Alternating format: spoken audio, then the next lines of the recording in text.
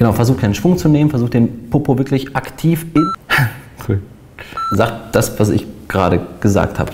Hier würde ich wirklich gerne ähm, euch dazu raten, das nicht zu machen. So,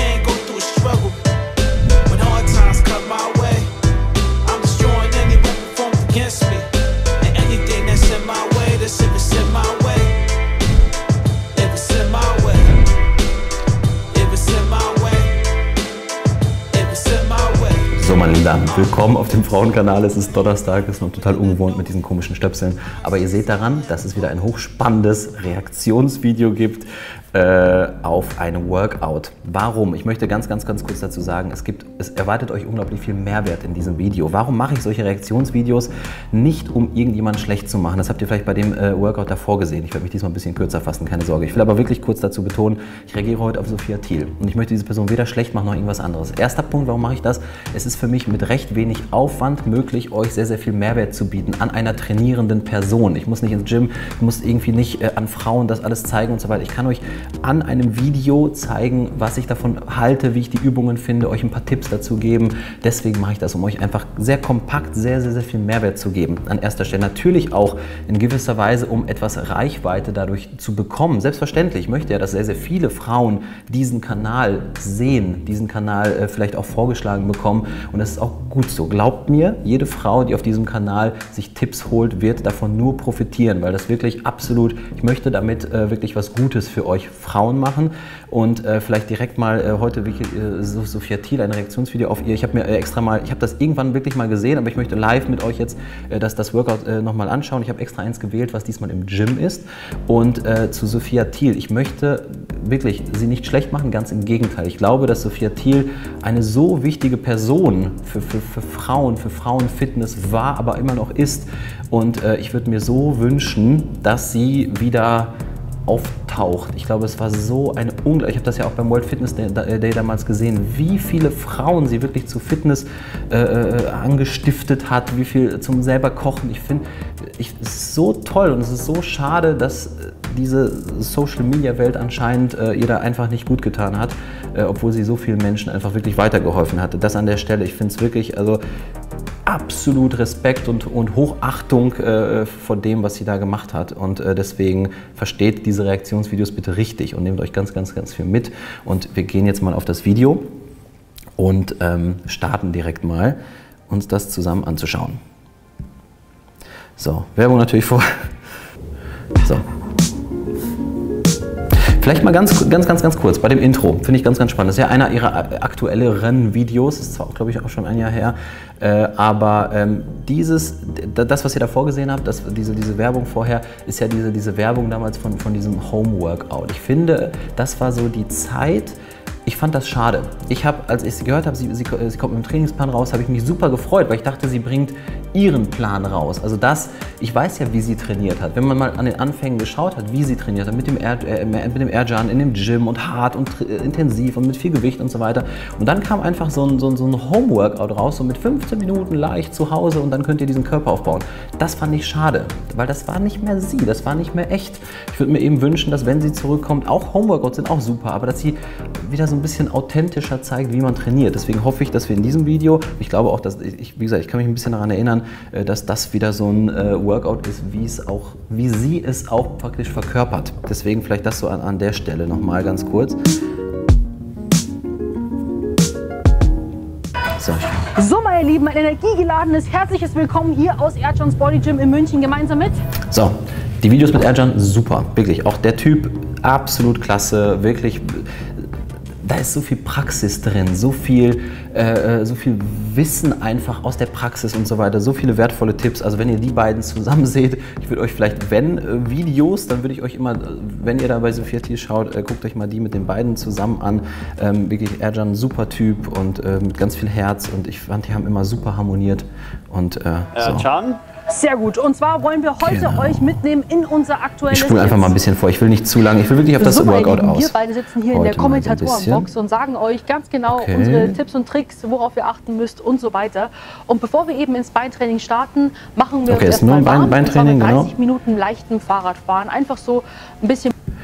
Äh, dazu ganz. Äh, äh, mein Tipp, mein absoluter Tipp. War machen ja, dehnt euch vorher ein bisschen, ein bisschen Mobility, besonders vom Beintraining. Das sah auch ganz gut aus. Hätte ich mir gewünscht, dass ihr es ein bisschen äh, genauer erklärt. Also äh, ein bisschen Mobility-Training, ein bisschen Sprunggelenk, ein bisschen wirklich schauen, dass ihr ein bisschen flexibel seid, ein bisschen die Hüfte, ein bisschen dehnen, dass ihr beim Beintraining einfach ein bisschen tiefer bei, der, bei, bei Squats oder bei Beinpressen ein bisschen tiefer kommt, dass ihr das Knie ein bisschen nach vorne schieben könnt. Ähm, auf jeden Fall super wichtig. Und sie hat gerade gesagt, 30 Minuten warm machen. Würde ich nicht machen, würde ich wirklich nicht machen. Warm machen bedeutet wirklich, den Körper etwas zu erwärmen, so wie der, Name auch sagt. Erwärmt euch wirklich 5, 8 Minuten bis 10 Minuten. Es geht wirklich darum, äh, insgesamt einfach ein bisschen wärmer zu werden, insgesamt einfach ein bisschen dafür zu sorgen, dass die Leitfähigkeit ein bisschen besser ist, dass der Körper wärmer ist. 30 Minuten sind etwas viel, ich versuche ein bisschen schnell zu reden, äh, 30 Minuten sind etwas viel, weil ihr da einfach, äh, äh einfach zu viel Glykogen verpulvert, sage ich mal, was ihr für ein hartes Workout, wenn ihr im Gym trainiert, braucht ihr Power, braucht ihr viel, viel Kraft äh, und da verpulvert ihr einfach sehr, sehr viel Zucker, den ihr praktisch für das harte Workout braucht. Halbe Stunde finde ich zu viel, zehn Minuten macht, wenn ihr ein Cardio machen wollt, es lieber danach, weil da braucht ihr einfach nicht mehr so viel Power. Äh, deswegen das so als, als Tipp schon mal vorab. Muskulatur kriegen, damit das Ganze auch schön aufgewärmt ist und dann starten wir nämlich in die erste Übung und in dem Fall ist es unsere Lieblingsübungsabfolge äh, und wir beginnen mit den liegenden Bein-Bizeps-Curls. Mhm. Ja. Äh, liegende Bein-Bizeps-Curls äh, als erste Übung finde ich nicht verkehrt. Äh, man kann das machen, man muss nicht immer mit der schweren Grundübung anfangen beim Beintraining. Äh, beim Bizeps hat auch den kleinen Vorteil, dass ihr den, den Teil einfach auch schon so ein bisschen ja, zum einen unter Tonus bringt. Das heißt, ihr, ihr, bringt dem Muskel schon mal so ein bisschen bei, okay, ich, ich, ich brauche dich, zum Beispiel auch äh, später dann für Squats und so weiter. Das heißt, er ist einfach schon mal so ein bisschen warm gemacht, ein bisschen vorermüdet. Er weiß, wie er dann arbeiten kann und ihr dehnt auch so ein bisschen den Teil äh, schon mal. Äh, und äh, grundsätzlich absolut nicht schlecht, kann man absolut machen. Ähm, ihr könntet aber auch zum Beispiel erstmal Squats machen oder erstmal eine Beinpresse und das danach machen. Äh, beides völlig in Ordnung. Genau. Wenn man äh, Schwachpunkt als Beinbizeps hat, kann man ohne weiteres mit Beinbizeps anfangen, damit mhm. äh, diese Muskelgruppe aktiviert ist und durch ganzen Training uns dann äh, begleitet, aktiven Zustand. Ja, da sollte man auch nicht mit der Erjan ist super. Der ist äh, wirklich auch so ein richtiger Mann aus der Praxis, äh, wo er nicht wo wirklich so aus der Praxis redet. Also manchmal vielleicht, ich, ich glaube, einige so Science-Leute oder so, so Theorie-Leute, die, die versuchen da seine Wörter vielleicht auch oder würden das jetzt versuchen. Nein, er, er, er weiß, dass es in der Praxis funktioniert und äh, würde ich ihm wirklich recht geben, wie er es auch gesagt hat. Also wirklich. So viel Schwung schummeln. Und wir beginnen es gerne, dass Genau, versucht keinen Schwung zu nehmen, versucht den Popo wirklich aktiv ins Polster zu drücken, wirklich. Also wenn ihr die Beine hochhebt, drückt den Hintern wirklich nochmal äh, richtig schön ins Polster. Denkt dran, den Beinbizeps, äh, äh den bearbeitet Dass wir halt hinten schon mal aufgewärmt sind auf der Beinrückseite und gehen dann über in die freien Kniebeugen. Okay, ist jetzt vorbei. Äh, sowohl wenn ihr die Beine beugt, aber auch eben die, die, die Hüfte streckt. Das heißt, der Beinbizeps arbeitet sozusagen aus, aus, aus zwei Winkeln. Das heißt nicht nur die Beinbeuge, sondern auch eben die, die Hüftstreckung. Und die könnt ihr ein bisschen damit mit, mit reinnehmen. Also äh, schaut, dass ihr den Hintern praktisch ins Polster drückt. Ähm, haben also wir auch super erste Übung. mal als könnt, erste Übung gemacht, aber so haben wir auch haben die auch oft als erste Übung gemacht. Eben, deswegen sage ich auch, ihr könnt wirklich das, das eine oder das andere äh, Stabilität machen. und für die, die nicht richtig runter können, weil eben äh, die Kontrolle fällt, ein äh, Muskel die Spannung hat, kann man viel besser kontrollieren. Sehr gut. Finde ich gut. Das, also sagt das, was ich gerade gesagt habe. Dass er praktisch schon unter Spannung ist, dass, er, dass ihr den gut kontrollieren könnt, dass ihr den praktisch so gut ansteuern könnt, eben auch bei Kniebeugen. Denkt dran, bei Kniebeugen wird auch der Beinbizeps mit beansprucht. Äh, sie macht die toll. Irgendwie werden die, die macht die ganz, ganz, ganz toll. Ja, und dabei ganz klar, ganz toll. Ähm, ungefähr hüftbreiter Stand, Zehenspitzen leicht nach außen und die Knie auf. Man sieht auch schön, wie, wie er praktisch darauf achtet, dass eben ihre Schultern nach hinten sind, dass der Brustkorb draußen ist, dass der Rücken gerade ist. Achtet bitte bei Squats darauf, dass ihr Spannung habt, besonders im oberen Teil des Rückens. Bei Frauen ist es eben so, dass sie hier dann einsacken und rund werden im oberen Rücken. Da schaut er sehr, sehr, sehr genau, sehr, sehr schön, dass die Schultern hinten bleiben, äh, dass der Rücken gerade ist, dass der Hintern äh, rausgedrückt wird, wenn man runtergeht. Äh, auch eben äh, leicht nach außen bringen, nicht nach innen zeigen. Ganz genau. Und den Rücken immer gerade Knie lassen, ein bisschen nach außen. aufrecht und versuchen in eine Linie nach unten super. zu gehen. Oben spanne ich den Po nochmal super gerne. Dieses äh, fragen sehr, sehr viele Frauen, dieses oben, dieses Anspannen, dieses Hüfte noch ein bisschen nach vorne schieben. ähm, halte ich nicht so viel von, weil ihr eben keinen Widerstand mehr habt, praktisch in die Hüftstreckung. Das heißt, wenn, wenn, wenn die Beine oder wenn ihr fast gerade seid oben, dann bringt dieses, dieses Anspannen, ihr könnt den anspannen schon, also ihr sollt den Hintern anspannen, aber dieses, dieses Hüfte nach vorne klappen bringt nicht mehr viel, weil ihr ja nur noch Last von oben habt. Ich finde es fast sogar, äh, ich würde eher dazu raten, den zwar anzuspannen, aber praktisch so die Hüfte nicht ganz nach vorne äh, zu packen, äh, weil diese Endkontraktion, ähm, die habt ihr dann nicht. Wir haben unten viel Spannung und nach oben wird es immer weniger. Und äh, anspannen ja, aber nicht mehr so dieses nach vorne drücken. Was an. Sie und dann gehen wir über in die hier so macht, Übung. so dieses nach vorne da, schieben ähm, muss man wirklich nicht mehr machen. vor der Beinpresse nochmal eben eine isoliertere Übung für die Beinvorderseite. Den okay, das macht sie, sie heißt, sie macht jetzt noch äh, Finde ich auch sehr, sehr effektiv, vor allem. So, Beinstrecker, ähm, ja, ist eine gute Übung. Ähm, ich finde, ähm, Erstens, macht sie bitte nicht zu schwer. Ihr habt wirklich sehr, sehr viel Last auf der, äh, auf der Patellasehne. Ähm, und äh, wie gesagt, es sind vier Muskeln, die praktisch über eine Sehne laufen. Macht die bitte nicht zu schwer. Ihr habt sehr, sehr viel Gewicht oder sehr, sehr viel Hebel praktisch in der Endphase.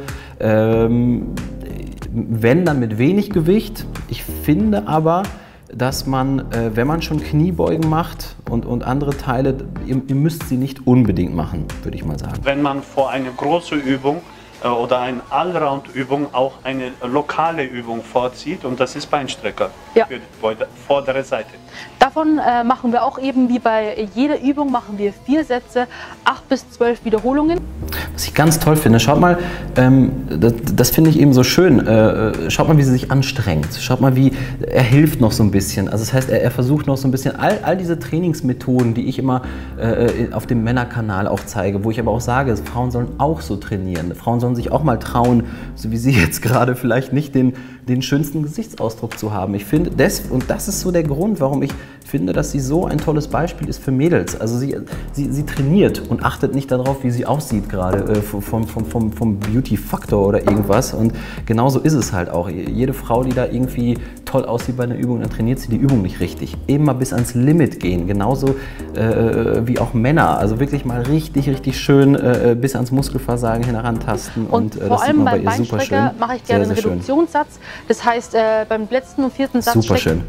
Reduktionssatz, Dropsätze, das sage ich auch immer genauso bei Frauen. Arbeitet bitte mit Dropsätzen, weil ihr euch damit eben noch näher ans, ans, ans Muskelversagen rantasten könnt und damit könnt ihr einfach noch viel, viel bessere Erfolge Der fahren. Also super, nochmal super ähm, drastisch auf ein geringeres Gewicht und mhm. ich mache dann nochmal so viele Wiederholungen wie gehen. Und dann gehe ich erst in die äh, cool. Monsterübung wieder über, sozusagen in die Okay, jetzt gehen wir mal weiter. Und so weiter ein bisschen variieren, wo man gerade haben möchte. Genau. Schaut, dass ihr den Augen streckt auch nicht ganz durch. Wo man innere, äußere, vordere und hintere Bein. Das Volumen ist viel. Also das heißt, es ist wirklich sehr viel, sehr viele Übungen für den, also sehr Quadrizeps lastig. Äh, das alles in einen Workout zu packen, finde ich etwas viel. Komm, ich, ich bin gespannt, was noch alles kommt. Ich finde, es schon viel. Wenn man schon Beinstrecke hat, wenn man schon Squats hat, dann noch eine Beinpresse ausgiebig machen. Es ist einfach in einem Workout sehr viel, sehr, sehr viel. Und wenn ihr dann noch Reduktionssitze macht, wenn ihr, ich finde, kommen wir vielleicht zum Schluss mal, ich gebe euch vielleicht mal einen Tipp, wie, wie groß so ein Workout sein soll. Meiner Meinung nach, äh, wenn ihr so viel Volumen habt und das dann zwei, dreimal die Woche macht, ist das einfach zu viel. Das ist, äh, da gelangt ihr sehr, sehr schnell in Übertraining. Ihr müsst nicht so viel trainieren. Ähm, Schauen wir erstmal weiter. Grundsätzlich aber eine tolle ja, Übung. Also, also ich setze meine Beine etwas tolle, leicht, tolle so leicht nach oben, sodass das Gewicht mehr auf den Fersen lagert. Runter. Zehenspitzen und also sind eigentlich genau parallel meine Füße. Und die Knie gehen Richtung Schultern. Ganz wichtig, fest im Sitz drin halten, nicht mit dem Po eben, äh, stark abheben. Sie hebt ein bisschen hoch, mit dem, wenn sie runtergeht, hebt sie ein bisschen mit dem Po an. Es ist nicht tragisch. Viele sagen, oh Gott, wenn man da rund wird, da passiert, ihr habt, ihr, habt ja kein, ihr habt ja keine Last wirklich auf der Wirbelsäule. Wenn ihr da ganz, ganz leicht, minimal mit dem, ihr sollt natürlich versuchen, mit dem Hintern gegen das Polster zu halten und ihr sollt versuchen, den, den Bauch rauszudrücken. Und den, aber wenn ihr da so minimal abhebt, das ist jetzt auch nicht tragisch. Also äh, so wie sie das macht, sie hebt so ein bisschen mit dem Hintern an, das ist überhaupt nicht, und überhaupt nicht so schlimm, diesen so tief runterzugehen. Also die sind bei mir immer mit dabei, ja, gehe ich eigentlich ab. schon über in die erste isolierte Po-Übung. Und das sind jetzt sehr, sehr effektive Übungen, sehr, sehr kraftraubend. Genau, Ausfallschritte. Weil man ja äh, fast 24 mhm. Wiederholungen macht ohne... Puh, noch mehr Volumen klar, es ist natürlich auch wieder Hintern mit drin, aber auch sehr, sehr viel Quadrizeps wieder. Äh, sehr viel. Also auch, also die Übung für, an sich macht sie toll und sie ist eine sehr, sehr, sehr ist eine Pause super zu machen, gute allein Übung. das ist ein konditioneller Kraftakt. Ist auch sehr, sehr effektiv für Po, Innenoberschenkel wieder. Ja, das heißt, die machen die schön Vorder- leicht, machen die mit Natürlich vielen ist es auch eine Wiederholungen. große Übung, also das ganze Bein muss da irgendwie mitarbeiten. Ich achte mal darauf, dass eben, dass ich versuche, das Gewicht wirklich nur aus der Ferse zu drücken, Ja. aus diesem einen Bein. Alle Tipps das super andere Bein ähm, nehme ich sozusagen selbst. als Stütz, Stützrad und hebe es immer an. Manche Genau, und- machen richtig schön Wiederholungen. Denkt an äh, dieses, dieses holistische System, was ich euch auch immer rate. Wirklich eine sehr schwere Übung, eine so mittelschwere, die ein bisschen isolierter ist und dann eine auch mal leichter mit vielen Wiederholungen, wo wir richtig schön 20, 25 Wiederholungen gehen, um da auch die Durchblutung zu verbessern, äh, um auch die, die, die, äh, die, die anderen Fasern auch so ein bisschen, die, äh, die, die langsamer kontrahierenden Fasern ein bisschen anzuregen. Äh, auch absolut äh, gut. Ich finde nur vom Volumen in einem Workout finde ich das Wir jetzt sehr, das sehr, sehr, Bein sehr nochmal viel. ähm, extra mit nach vorne, so eine Art extra Schritt, aber letzten Endes möchte ich mich nur auf das eine Bein fokussieren, das sozusagen zerstören und dann wechsle ich auf die andere Seite. Finde ich witzig, dass sie sagt, auch zerstören. Das, ist, das hört sich immer so schlimm an. Und Mädels denken, glaube ich, alleine, wenn sie in so einem Gym wären äh, und wenn sie sowas hören, dass sie dann irgendwie äh, Giganten, Riesen werden oder so. Überhaupt nicht. Ich finde auch, äh, sie hier in diesem aktuellen Zustand hat ganz ich finde ganz toll geformte Beine, toll, also ganz, ganz symmetrisch. Ich finde das super. Es sieht auch äh, äh, gar nicht so männlich aus und ähm, und wie gesagt, wenn man so hart trainiert, dann Mit passiert da nichts, Fußstellung müsst äh, ihr auch nichts gucken, wenn der Schlimmes. Fuß zu weit nach vorne Ganz im ist, Gegenteil. instabil und zu nah geht es nochmal sehr stark auf äh, das Knie. Deswegen ähm, tariert es auch nochmal über in die zweite isolierte Po-Übung. Und zwar sind das jetzt hier die Kurzhantel Sumo Squats. Auch sehr wichtig für innere Oberschenkel und bei einbeinigen Ausfallschritte noch Okay, also es ist jetzt nicht wirklich für die inneren Oberschenkel. Es wird innen wird etwas, also je, je breiter man die Beine stellt, desto et, etwas, aber es ist wirklich nicht viel, je nachdem wie ihr die Knie stellt, etwas mehr wird dann der, die, die inneren Teile der Oberschenkel äh, äh, werden ein bisschen stärker beansprucht, aber nicht viel. Also es ist auch hier wieder haben wir sehr, sehr, sehr viel Quadrizeps mit drin, wir haben auch wieder viel Hintern mit drin. Ähm, auch eine super Übung für sich gesehen, aber zusammen ist es einfach sehr viel, sehr, sehr, sehr viel äh, Volumen mal zu einfach. erwähnen. Wenn man Dann macht sie auch ein sehr Bein schön. hochhebt, dann ist Po gefragt, um Ah, äh, sehr gleich- schön.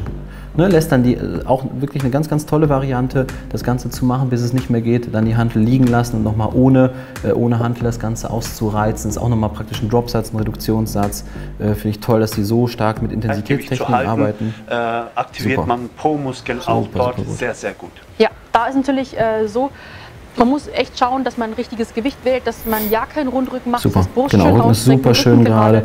Hier könnt ihr tatsächlich richtig schön den Hintern gehen. Ich stelle mich am anspannen Anfang meistens gern so hin, wie meine Endposition sein soll. Also Ja. meine Füße ähm, zeigen ja stark nach außen, gebe leicht am Boden zu berühren und dann oben den Po fest zusammenzuzwicken. Genau, das ist super. aber eine Hier sehr kann man das tatsächlich ähm, machen. belastende Übung für das Knie. Also wenn man ein Knieproblem Mhm. haben sollte, kann man hierbei aber ähm, ausweichen. Deswegen habe ich jetzt noch zwei weitere Auch sehr, sehr schön, wirklich die Knie weit nach außen drücken. Das heißt, die zeigen in die Richtung, wo auch eure Füße hin zeigen. Nicht eben, ganz viele machen das, Füße breit stellen und die Knie dann eng. Das ist äh, wirklich, dann, dann ist es wirklich nicht gut fürs Knie, wenn die Knie wirklich unter den, äh, äh, wenn die Füße praktisch unter den Knien sind, dann ist das Ganze auch äh, gar nicht so belastend für die Knie. weitere Übungen für euch gefilmt, die ihr als Alternativen machen könnt. Sieht und zwar aus. haben wir hier einmal die Reverse Leg Raises.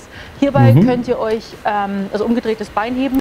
So, hier ist zum Beispiel so eine Übung, die würde ich äh, tatsächlich, äh, wenn ihr zum Beispiel Squats macht, die noch ergänzen als Beispiel, weil ihr eben hier die Endkontraktion habt. Das, was ich euch gerade bei den, bei den Squats erklärt habe, dieses, dieses Durch, Durchstrecken, dieses Po anspannen und den Po ganz, also die Hüfte komplett strecken. Macht bei den Squats gar nicht so viel Sinn, weil ihr ja keinen Widerstand mehr habt, äh, was euch praktisch nach hinten zieht, sondern nur von oben. Hier zieht euch das Gewicht ja nach, nach unten, der Ball und die Beine, und ihr habt eben in der Endkontraktion den größten Hebel. Das ist so eine schöne Sache, die man eben kombinieren kann äh, mit Squats zum Beispiel oder äh, wenn ihr euch eben ähm, umgekehrt auf, auf eine Bank legt, nehmt euch praktisch äh, irgendwas äh, auf, auf, auf, den, äh, auf die Hüfte und dann habt ihr praktisch eine Endkontraktion, richtig, richtig schön äh, nochmal die Spannung. Das ist eine super Entweder Übung. auf eine Bank legen um oder auf ein irgendeinem bisschen Plateau, wo ihr euch vorne festhalten könnt. zu ergänzen. Und dann bringt ihr sozusagen die Beine im gestreckten Zustand nach oben und Genau. spannt oben den Po richtig Super. fest an. Um das Ganze zu erschweren, haben wir nochmal einen Tolle Ball Übung. zwischen die Beine genommen. Richtig Den nochmal schön zusammendrücken, den Ball. Ziehen, sondern auch nochmal ihr ganz toll zusammendrücken machen. für die Oberschenkelinnenseite. Genau. Also wirklich eine sehr Ja, gute. das ist ähm, tatsächlich, genau, das ist tatsächlich dann für die, äh, für die Adduktion nochmal sehr, sehr gut, wenn ihr den nochmal zusammendrückt und, und, und gleichzeitig könnt ihr super machen. Besonders so zum Schluss, um das nochmal richtig schön auszureizen. So eine tolle Übung. Po. Ist gar nicht so leicht, nicht mehr wie, könnt, wie, wie, wie sie schmeißt den aussieht. Ball einfach weg und macht nochmal Ja. so viele ähm, Sehr gut. Wiederholungen, bis es richtig brennt. Sehr, sehr, sehr, sehr gut. Oder ihr könnt Toll. auch gerne mit den Fußschlaufen am Kabelturm Genau. Kickbacks machen. Auch Dann habt ihr auch die Endkontraktion hauptsächlich mit drin, habt aber auch vorne noch ein bisschen mehr Widerstand. Das heißt, für alle, die, die, die, wo die Übung davor vielleicht zu leicht war, äh, wo ihr einfach da zu viele Wiederholungen machen könnt, ist das eine tolle Sache, um sich vielleicht ein Gewicht zu nehmen, wo ihr so 12, 15 schafft ungefähr. Auch eine Äh, richtig und dann coole isolierte Schauen wir mal, wie sie sie macht. Finde ich auch. Ich meine, äh, wer wirklich mit Standproblemen und so weiter einfach, Ja, als ohne kleiner, Knie zu Genau, belasten. genau, hinstellen. ähm, ist wesentlich knie, knieschonender. Super. Und als kleiner Tipp, Genau, schön nach vorne wenn ihr gehen, welche bestellen solltet oder wenn euer Toll. Fitnessstudio welche haben sollte, ich habe mir ihr meine genau so ähm, einfach online genau so bestellt, ähm, sondern mit diesem Schlaufloch. Verschluss, wie man das nennt, das nennen mag. Schön, nicht mit dem Hintern mitgehen. Das machen eben auch ganz, ganz viele Frauen. Das heißt, wenn das Bein nach unten geht, gehen sie mit dem Hintern mit. Und sie sollen genau das Gegenteil machen. Das heißt, wenn das Knie nach unten geht, geht der Hintern sogar eher nach oben gegen die Bewegung. Und dann praktisch, wenn, wenn das Bein hoch geht, streckt man die Hüfte. Das ist ganz, ganz, ganz wichtig. Macht sie ganz, ganz toll. Und äh, Ähm, ich bin großer Fan fester, von, äh, ähm, von ihrem Training, genau, weil ich es echt gut schaut finde. einfach, dass ihr Außer das dann Volumen ist jetzt sehr, sehr groß. eure Beine da eben auch mit circa 10 Toll. bis 15 Wiederholungen da so richtig beansprucht und den Po so richtig auspresst, wie ich immer so schön sage. Sag ich auch mal, das ist gut.